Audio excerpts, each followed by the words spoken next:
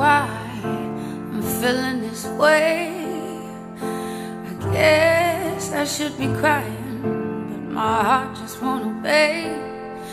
It feels strange to be happy as I lie here on the rooftop in the rain. I said